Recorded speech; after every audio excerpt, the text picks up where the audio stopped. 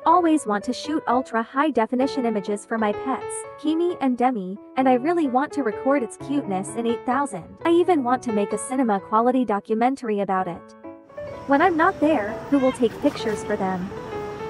The surveillance head is high above, the angle is not good, the distance is too far, and the video quality is not good.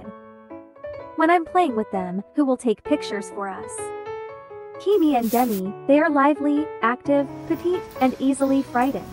It is really difficult to take good photos for them. Smart Camera Pal, let the camera shoot fully automatically, which solved my problem. Put the Smart Camera Pal in the place where Kimi and Demi often play, easily get lower shooting position, the lens is as high as the pets, and take photos of pets from the perspective of pets. The images are more friendly and impactful. The pets left and Smart Camera Pal ordered the camera to stop shooting.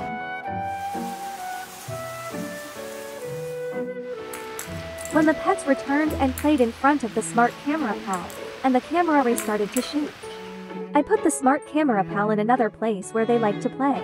Fully automatic shooting, recording the happiness and sleepiness of my pets at any time. Over time, cinema quality documentaries are produced. When I got home, I turned on the camera, and the ultra high definition photos and videos filled me with joy. Looking at them, all the fatigue of the day disappeared. Added real-time picture transmission function, I can download and share their images at any time outside, and feel that Demi and Kimi is by my side. Smart Camera Pal, my pets love you too. Smart Camera Pal, fully auto capture the wonderful moments of my pets.